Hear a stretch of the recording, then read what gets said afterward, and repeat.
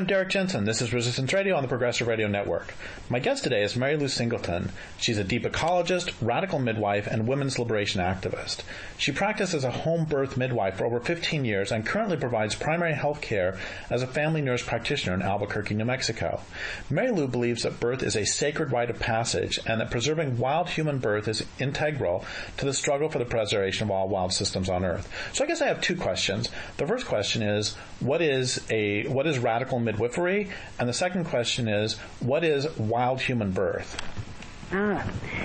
Um, so radical midwifery is um, non-professionalized midwifery. Radical midwifery is the um, the system of of women of our culture helping each other give birth in the way our species has done since its inception as a species.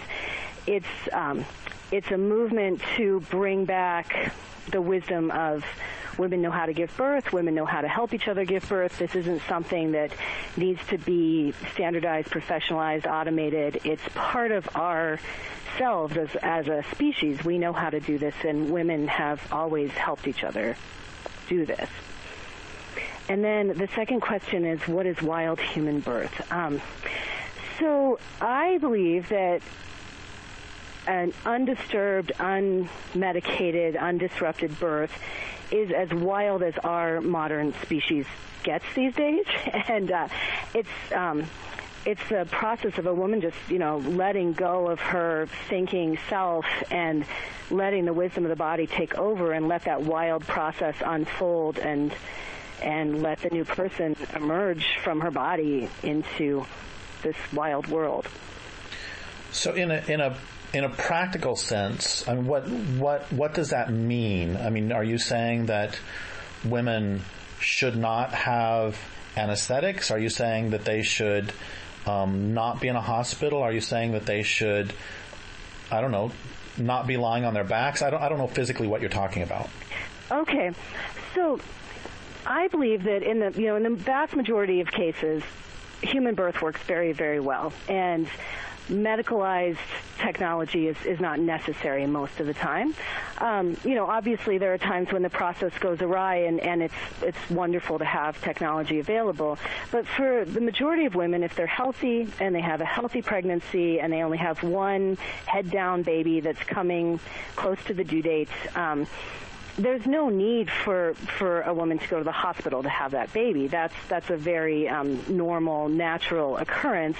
And like other bodily processes and other things we do, there's there's not a need for that person to go into the hospital to let that process occur.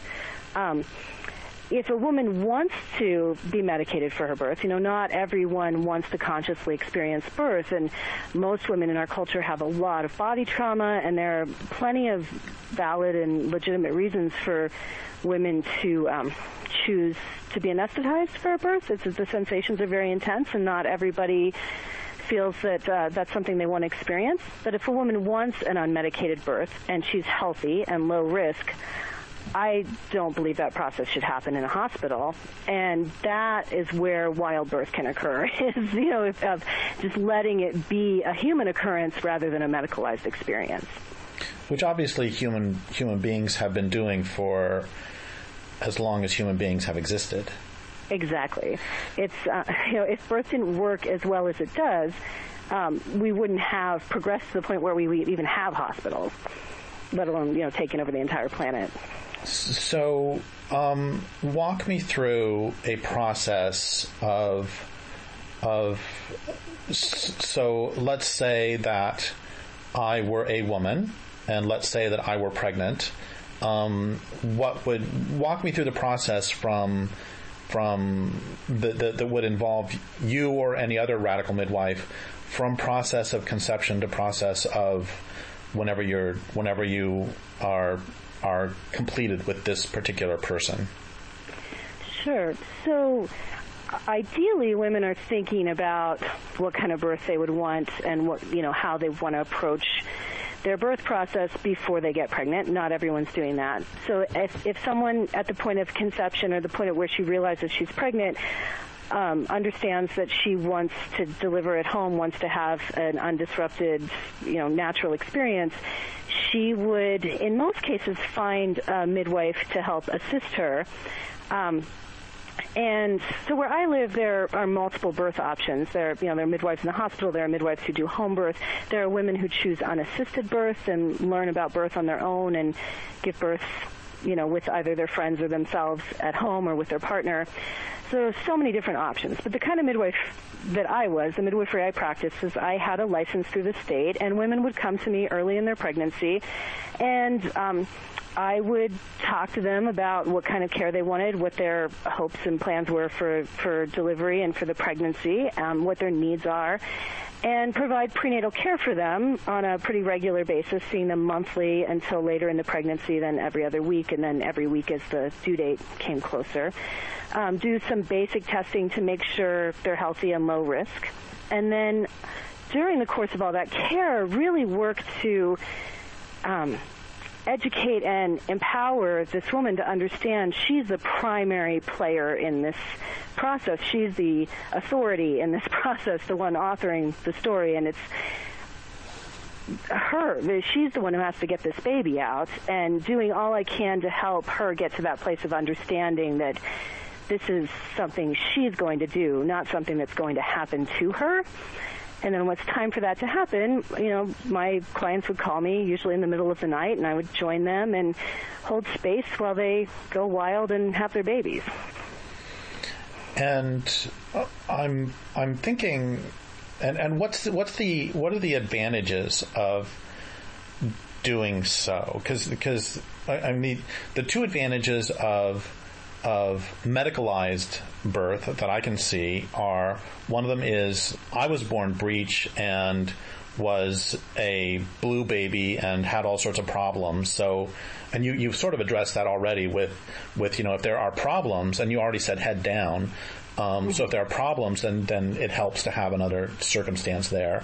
And then the other one is, um, everybody, uh, it is a common, uh, I remember Carol Burnett, you know, decades ago used to make jokes about how giving giving birth to a child was like having somebody I don't remember what the joke was, but basically having somebody rip your lower lip over the top of your head or something. And so it's, it's talked about as an extremely painful process. So so those seem to be two advantages of medicalizing would be A, if there's an emergency, and B, um, a choice of pain or not pain. Um, mm-hmm. So what? So what? What are the advantages the other way that counteract those, or or how are those wrong that I just said? Well, you know, birth is um, like all aspects of life, you know, healthy people don't just drop dead. And there are yellow flags before there are red flags before there's a medical emergency in nearly all aspects of life. So, like your example, you know, breech baby, that's diagnosed well before labor, and that's a birth that um, many people would, would say should happen in the hospital. I, I believe it's always the woman's choice where a birth should occur. I don't think there should be laws about where a woman should be allowed to give birth. It would be my recommendation as a midwife that a breech birth should happen in the hospital. Um, but that's not something that you you know about as the baby's coming out. It's you know at the very least, there are hours before the diagnosis of that to the delivery and time to get to the hospital. Um, midwives do carry basic emergency equipment. Most of the common emergencies that can happen at a birth um, can be handled at home just as well as in the hospital. A baby that might need some resuscitation, um, a hemorrhage, these things can be taken care of at home. You don't have the added infection risk that you have in the hospital where it's just, you know, hundreds of people coming through and lots of antibiotic bacteria. There's always a greater infection risk in the hospital. Um, there's always a risk anytime we intervene, and this is where pain medicine is, is a real double-edged sword that when we anesthetize a woman, the birth becomes riskier for both her and for the baby.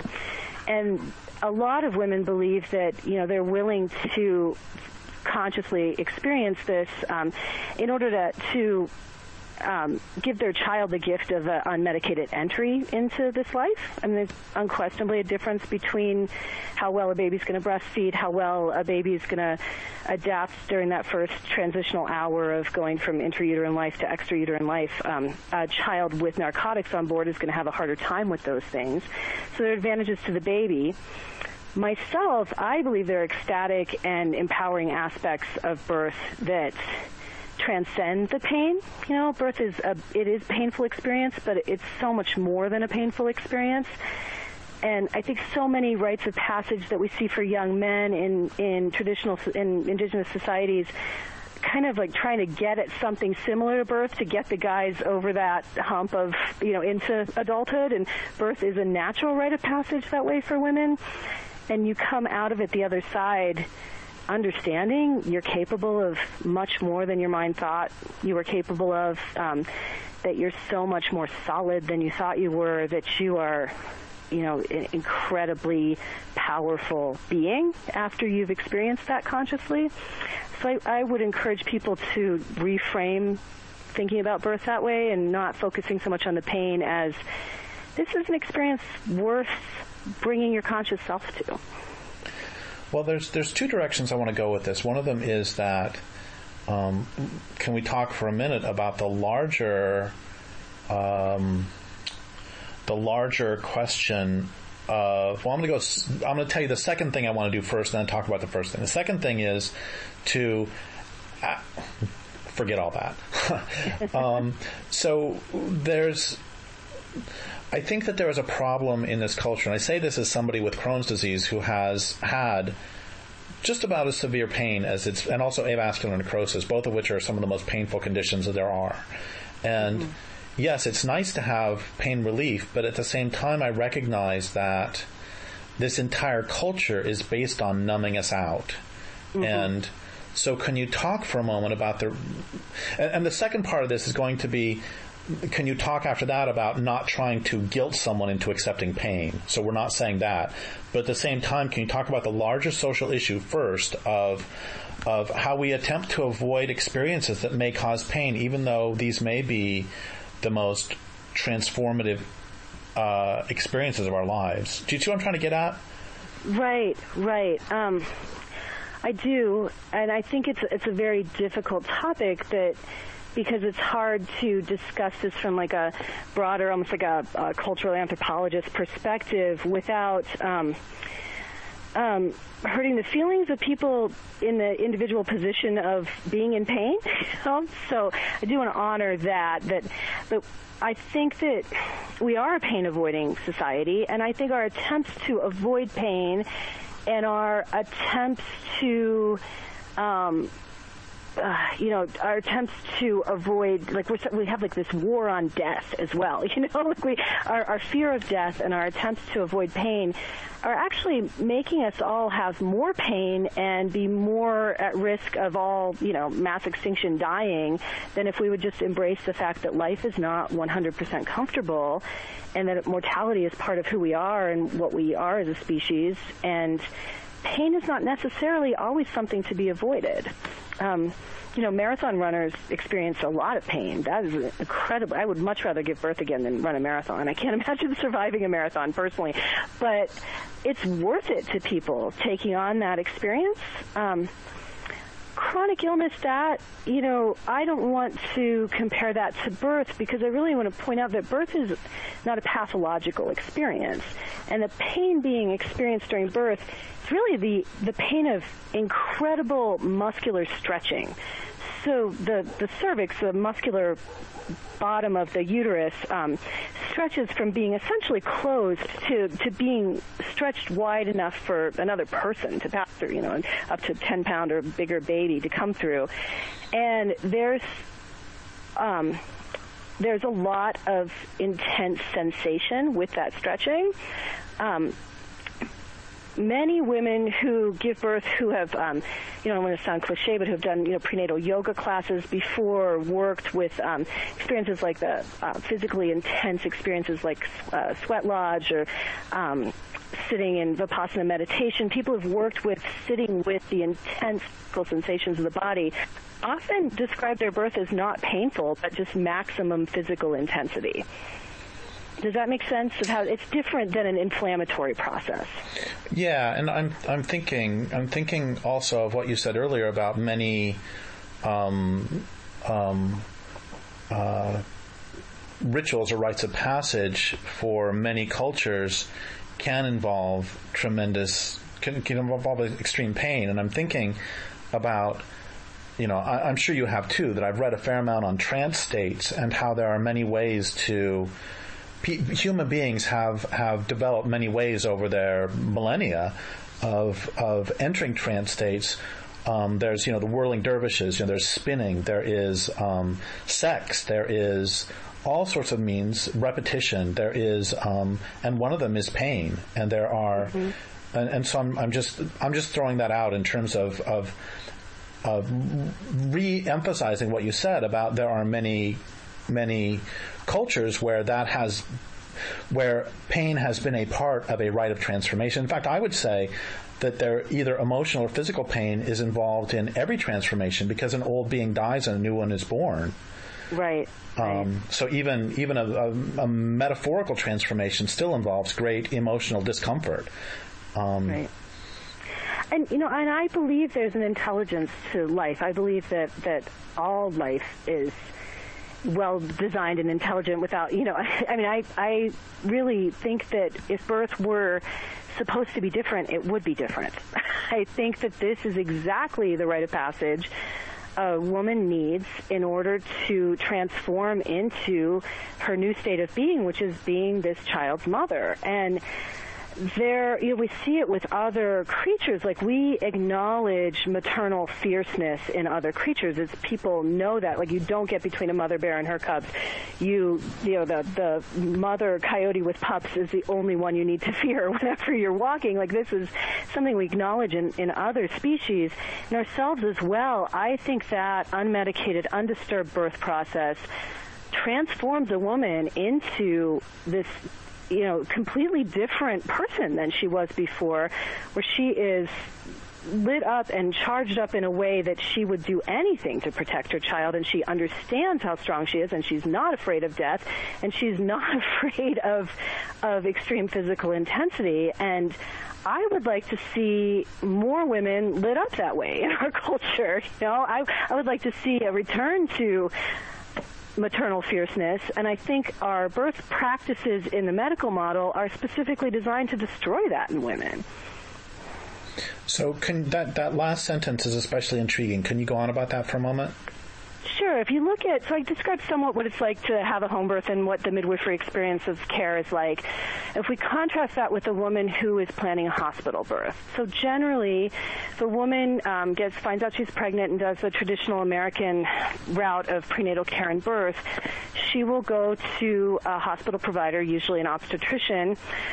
The first thing that's done is um, a dating ultrasound where even if the woman knows when she conceived, even if she is 100% sure about her last menstrual period or she's been trying to get pregnant and she knows exactly when her conception date was, that's not believed. It's actually medical dogma that women don't know when their last periods were. Women can't be believed. And she has to get a dating ultrasound. And so the pregnancy is not real until we see it on a television screen, essentially like a sonogram scene, uh, and then we can quantifiably measure it with our scientific tools. Like that's when the pregnancy is deemed real, and that's how the pregnancy is dated as this this is her due date now, and that's considered. Um, the absolute authoritarian assessment, even if a woman knows she conceived three weeks earlier than what they're telling her, that will be ignored and that will be her due date. So that's the entry is an initial technocratic authoritarian assessment. And then the rest of her care is essentially a, um, you know, a series of surveillance episodes where she's, you know, they're looking for problems, they're looking for problems, they're looking for problems, where every time, you know, she's being screened for, does she have another disease? How about this? You know, uh, we have to test her for for um, for this infection and that infection, things that are usually, if there are no symptoms, 99% of the time we know that's not happening. But the whole messaging of the care is your body's dangerous, you're not the authority in your life, and if we don't constantly, um, you know, keep our eye on you, you're going to kill your baby. and so that's the kind of care she's had before she enters labor. And about 60% of women in the United States end up being induced for labor. They don't start labor naturally. Um, if she does start labor naturally, she has to go then turn herself into these authorities who've already established this relationship with her that they know best um, about everything. It supersedes her own understanding of her reality. Uh, she goes to the hospital. Um, women are still restrained in labor in the United States. Um, people like to think that we've moved past that. Uh, people understand that in the 50s, women were strapped to the bed with leather restraints when they were laboring. That doesn't happen anymore, but now we have this what's that old term, friendly fascism, where we have these pink and blue monitoring belts that go around her abdomen, and those are on a three foot tether that hooks into a computer beside the bed. That's called constant fetal monitoring and sometimes it's called fetal surveillance. it's actually the medical term for it is fetal surveillance. And so she's under constant surveillance during labor. She also has an IV further tethering her to the bed, so her movement is completely restrained. And you can imagine in a situation like that, um, why the majority of women would then choose to be anesthetized. It's an incredibly uncomfortable situation to be coping with these extreme physical sensations that most people at some point consider pretty painful, not be able to move around, not be able to walk around, not be able to get into a position that feels right, to, but to be stuck in the bed. So most women do choose epidural anesthesia, which is um, a needle put into the space around the spinal column and anesthetic medication is put into the spinal column. So she's essentially, she is numb from the waist down, tethered to the bed. Um, getting continual um, vaginal exams to check cervical dilation, those are not optional. You know, she can't say no to having people put their fingers in her vagina during birth. And um, during this process, about 35% of the time, at some point, something looks wrong, and a cesarean birth is is the birth is kind of directed into a surgical situation. So 35% of babies in our culture are born surgically. If she does have a vaginal delivery, it's um, usually people are yelling at her to push. Often, a suction cup is put on the baby's head, and the baby's pulled out with that and it's you know as you can see, it's a very different experience than like I had my son, and I you know I caught him myself in my bathtub, and it was the coolest thing I've ever done in my life. It's uh, you know juxtaposed a very very different way of entering motherhood. And I think about the way we give birth, and I just think no other mammalian species would put up with that. like even your house cat would rip your face off if you treated her that way in labor but women are socialized to accept that kind of brutality. Um, well, let's talk about a um, the history of both the medicalization of birth and also the patriarchalization of birth. Um, going back, is, isn't there a relationship between um, mid, midwives and the witch trials? Yes, you know, I, um, I've just read Silvia Federici's book Caliban and the Witch, where she talks about the persecution of women when during the advent of capitalism in Europe, and how after the Black Plague. Um, there was a labor shortage and people were leaving the feudal state and going back to living off the land and you know having like not needing to be in these um, hierarchical relationships with the landowners because there were so many fewer people. And the powers that be recognized that as a problem and really wanted to increase the population. And it was the women who knew how to prevent conception and end pregnancies who had to be eradicated in order to um, really boost up the the population of the you know the serf class, the the oppressed people in Europe. So going after midwives has been happening for a very long time. Um, you know, women's bodies are the original means of production, right? like this is something that has to be controlled in, in patriarchy the very core of patriarchy is the control of women's reproductive capacity and I think that you know that is still going on in the way we you know the way that's still affecting the way we give birth now. Absolutely. It's it's about the control of women's bodies. So before we talk more about that um, can we can we go back to the um, the natural the, the wild human birth versus the medicalized birth and can you just say something that you said to me you wanted to talk about before we started the recording?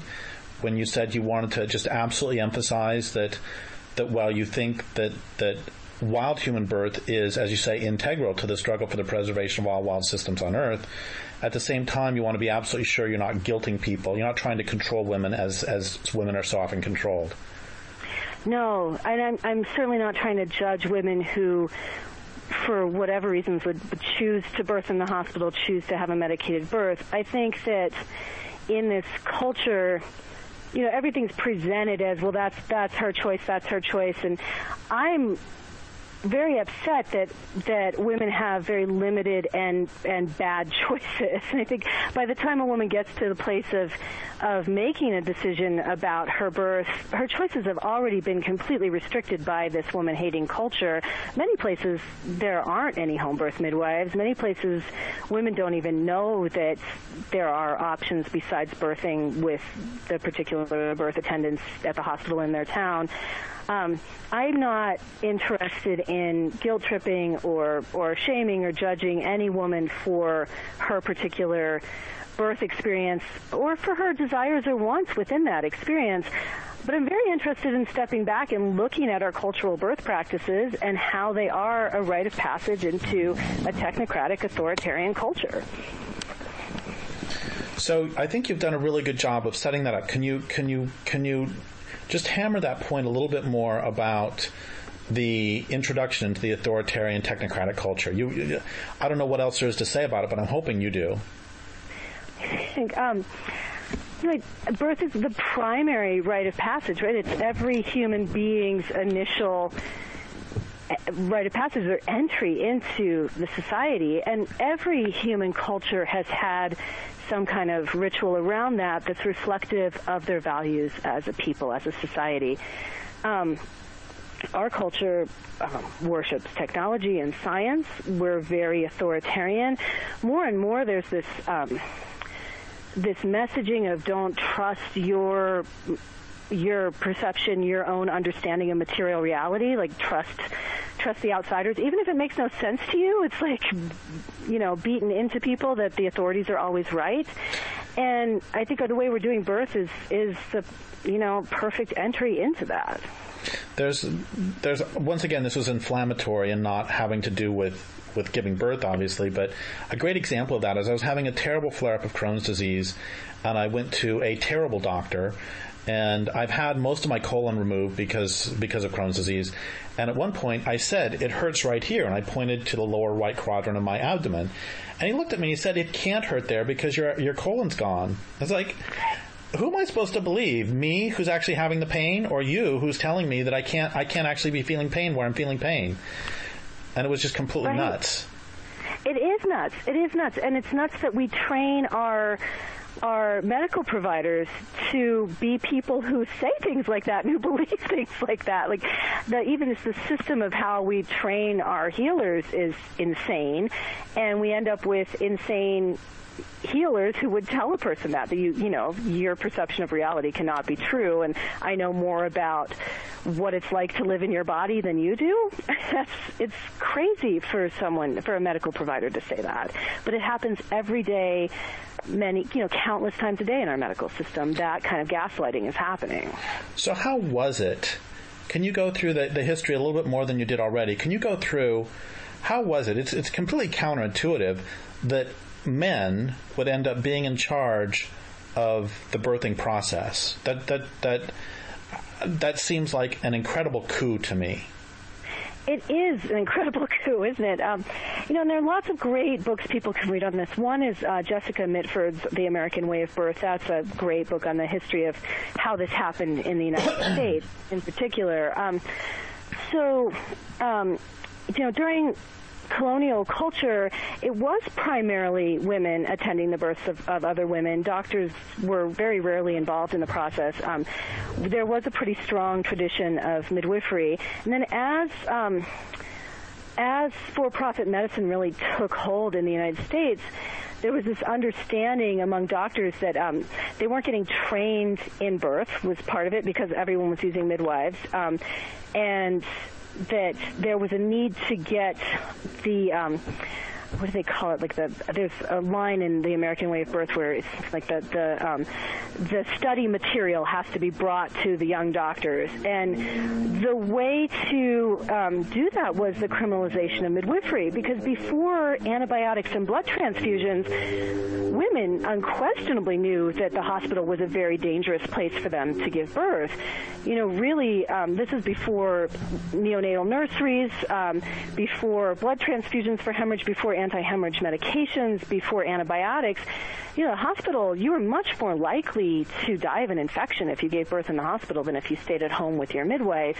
You're much more likely to have a terrible outcome if you gave birth in the hospital if this is like the turn of the last century, the you know the late 1800s, early 1900s, and so women wouldn't voluntarily come into the hospital. So they targeted the midwi- midwives and made midwifery illegal um, all across the United States. It was a coordinated, targeted campaign by for-profit medicine. And very interestingly, the way they did that was not going after midwives as birth attendants because the population had loyalties to them as birth attendants for the reasons I just explained. What they did was criminalize abortion.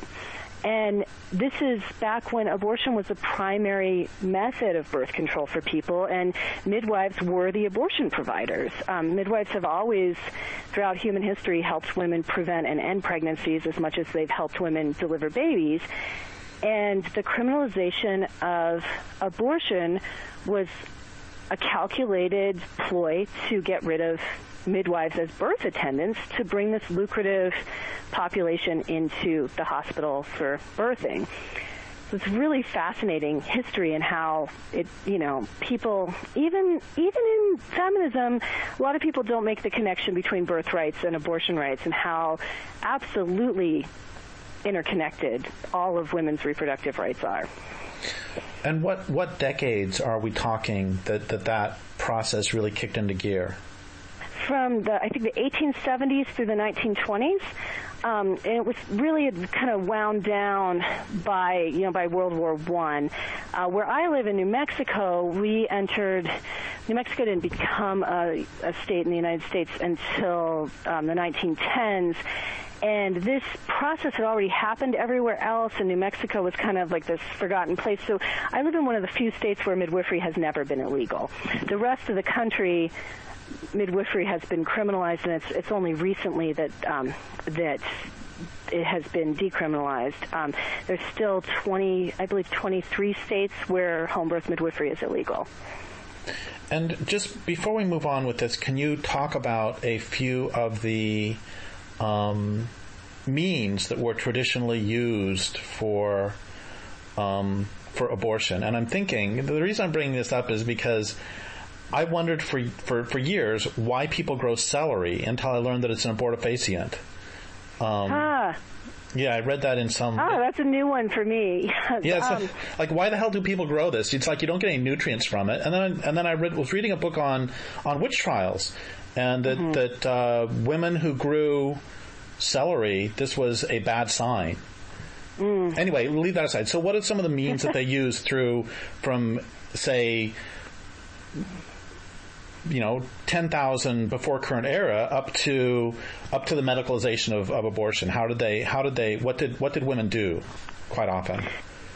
I think that um, there are many herbs all over the world that have been used as abortifacients. Um, one is cottonroot, which the the um, the bark of the root of the cotton plant is a very effective abortifacient, and that was used by uh, women who were enslaved during the American slave era, that terrible, you know, these women who, you know, you would talk about not having any reproductive freedom. It was just horrific what was happening.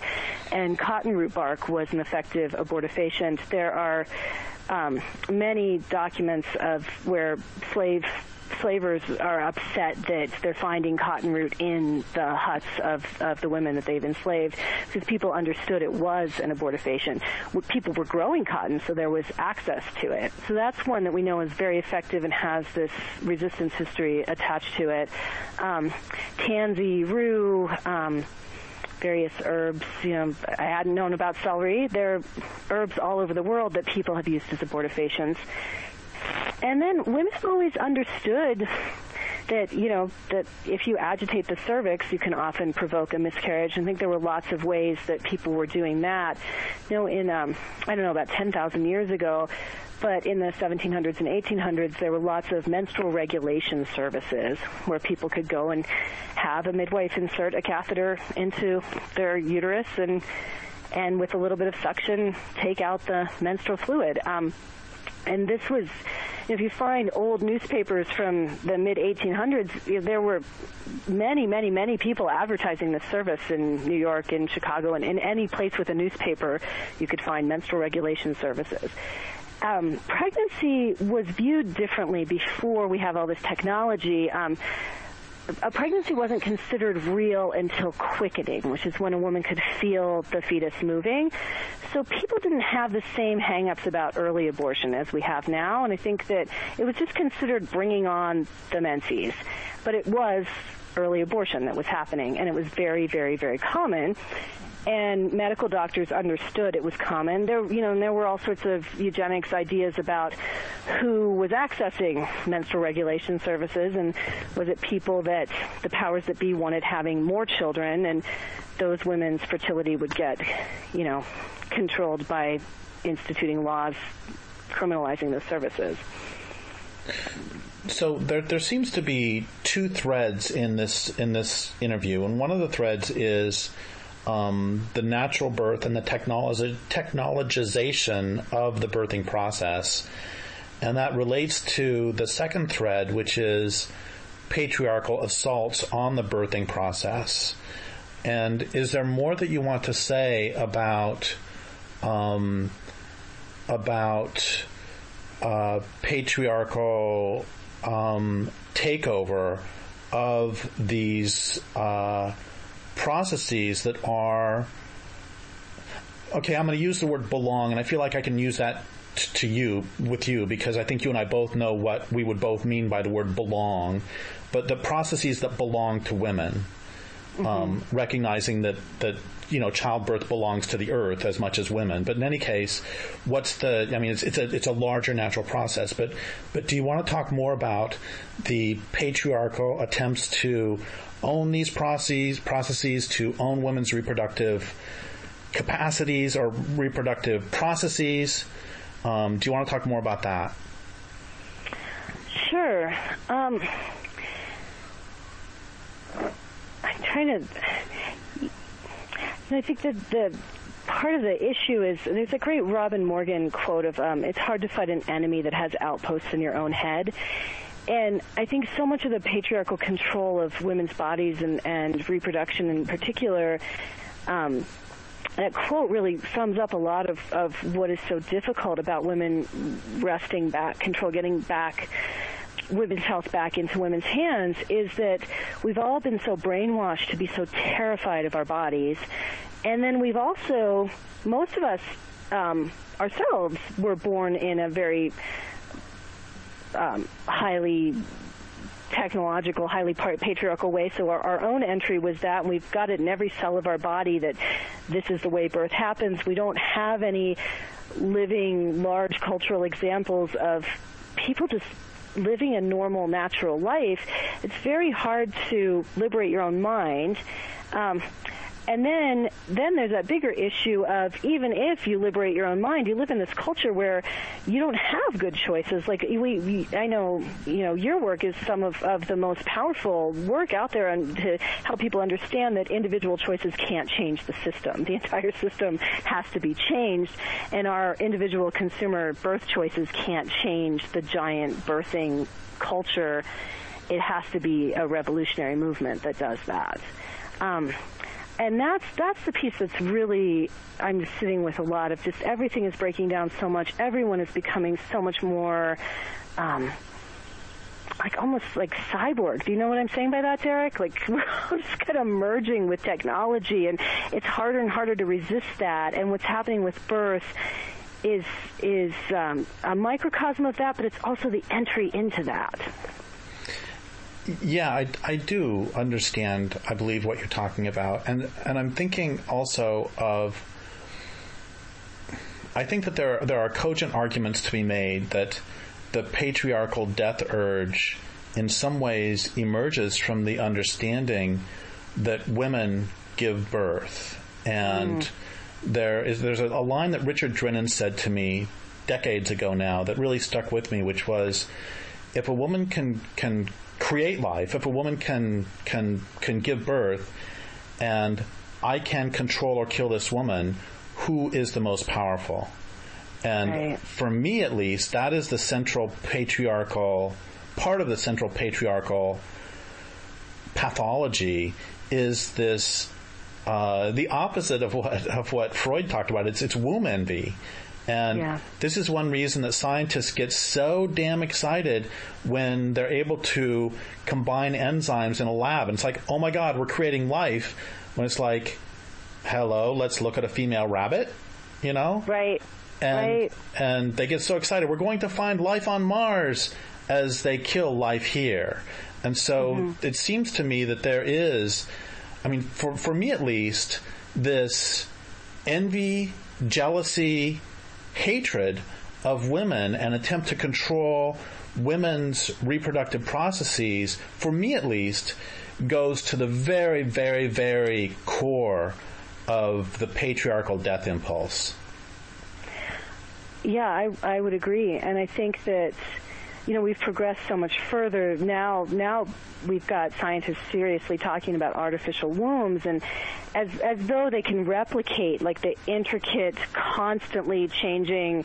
Um, biochemical environment of a living woman, you know, like that. There's no way they can make an artificial womb that would produce a, a person that's a normal person, but they're so excited about that.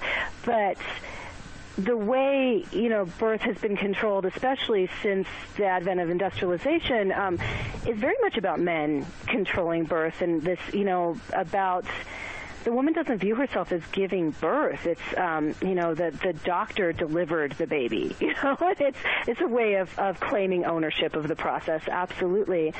One thing I really notice all the time when I'm talking to people who've birthed at home versus people who've birthed in the hospital, when women give birth at home, they talk about their birth as their entry into parenthood, their entry into motherhood.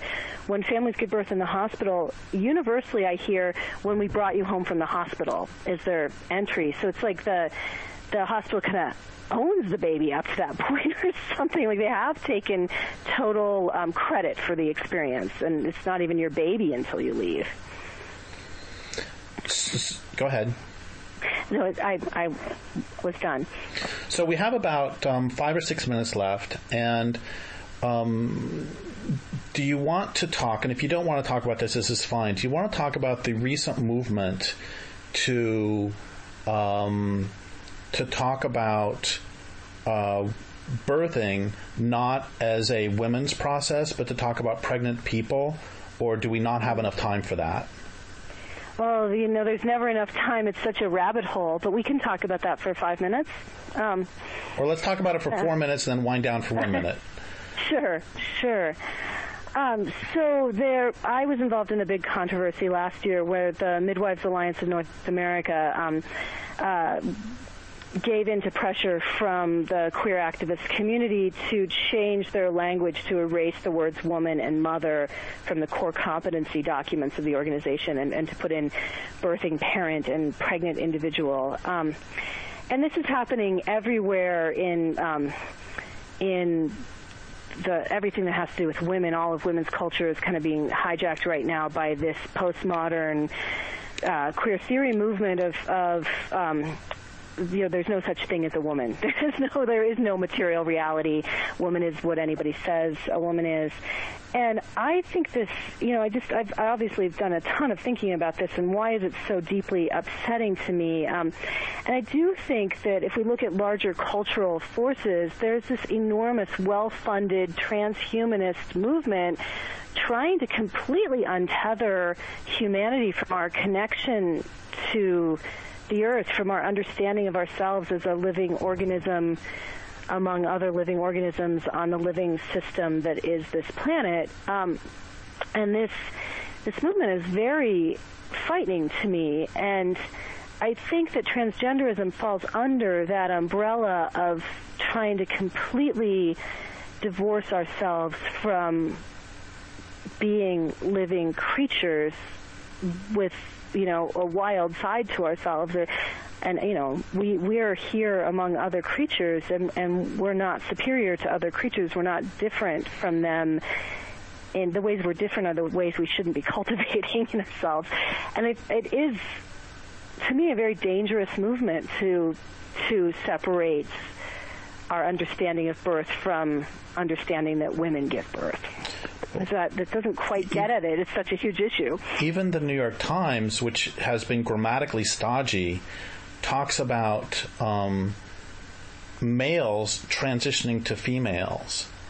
And mm. grammatically, that's that that disturbs me very deeply, and disturbs me very deeply on many levels, but including grammatically, because um, every single human being on the planet, and every single human being who has ever been on the planet, was born because a male sperm and a female egg met and was carried by a female.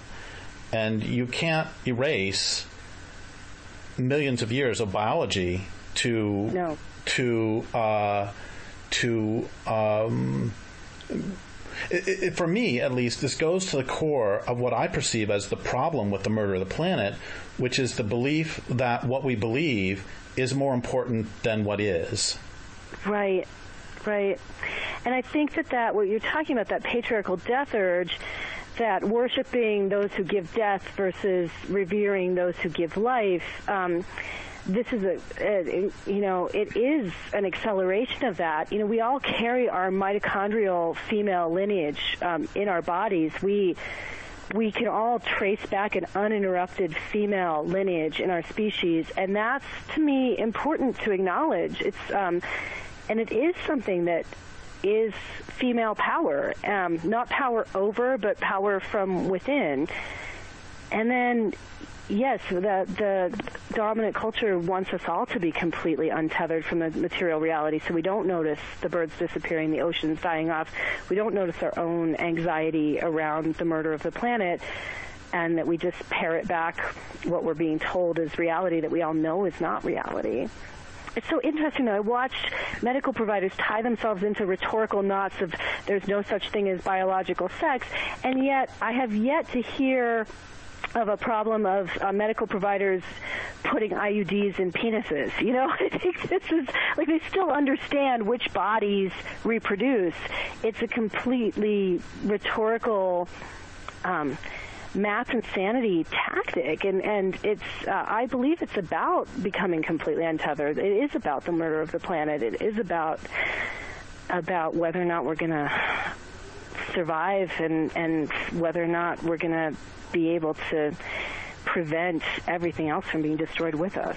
When we talk about um, getting rid of the word mother and talking about you can't say pregnant female, it's it it, some parts of me almost feel like the postmodernists are seeing how far they can push us before all of a sudden they stop and start laughing and say, "Ha, burned you." it's like, you know, it's, it's like we got you to fool, we fooled you this far. I mean, to actually get an entire culture and to get midwives to not be able right. to say the words mother or pregnant female, it, it I, I, I it, it, it leaves Mr. Guy, who has written millions of words, speechless.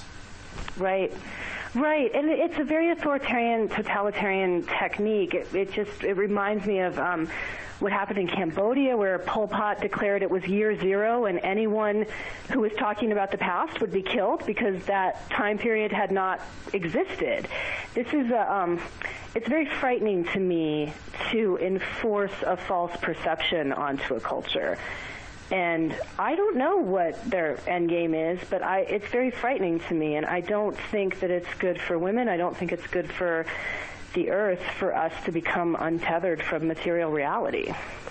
Well, and I'm going to make a really stupid joke here, but it's also not good for for stoners because everybody knows that you smoke the female marijuana plant, not the male marijuana plant. Oops. Right. So so what is it? We smoke the THB THC bearing plant? Is that what we say now? Well, even that doesn't quite get at it. Well, you don't know how those plants identify, so it's, um, it's not good for anyone.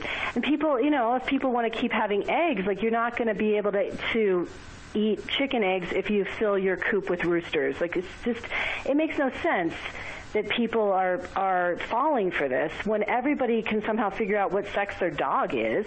Like it just doesn't make any sense. And I think that's one of the reasons why it's so deeply upsetting is it's it's completely ridiculous. It doesn't have any material um, truth to it. And, and, people know that if two males are having sex or if two females are having sex uh, of humans, they have they know that they don't actually have to worry about pregnancy. Right. You're not going to end up with a quote pregnant person end quote. Right. Exactly. Um, but it's the same, you know. I was raising chickens, and I wanted to have babies. I didn't want for them to have babies, and so I got a rooster. I mean, everybody knows that. Right. Exactly. Exactly. And it's um, and you don't need like an authority figure to come assign sex to your puppies you know whenever your dog has puppies. Like everyone can tell which are which dogs are male and which are female. My my dog who is she is neutered she she's been spayed but she can tell which dogs are male and which are female. Like we are living organisms. We can discern you know, we have an intelligence test that is deeper than our thought process. And I really think that all of what we've been talking about is just this further and further um, destruction of our living wisdom of our bodies. And I think if there's any hope for us, it's about getting back in touch with the living wisdom of the body. Well, thank you so much. And that would be a great note to end on. But is there anything else you want to say in like 30 seconds to, to, to sort of bring everything home about birth and everything we've been talking about?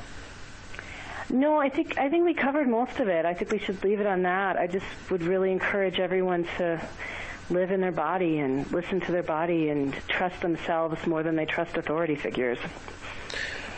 That's a good note to end on. So I would like to thank you for, for the interview, and I would like to thank listeners for listening. My guest today has been Mary Lou Singleton. This is Derrick Jensen for Resistance Radio on the Progressive Radio Network.